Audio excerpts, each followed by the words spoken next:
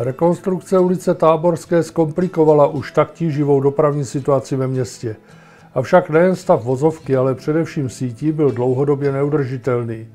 Podobně bylo nezbytné řešit napojení nové průmyslové zóny Rafaelova 2 na komunikaci 2 lomeno 360 pomocí kruhové křižovatky. 360 je nejbližší spojnicí k dálnici D1 a tomu samozřejmě odpovídá frekvence dopravy. Řidiče jistě potěší zprávy vyplývající z jednání se zhotoviteli obou staveb. Dojde k urychlení prací tak, aby do konce srpna byla obě místa průjezdná.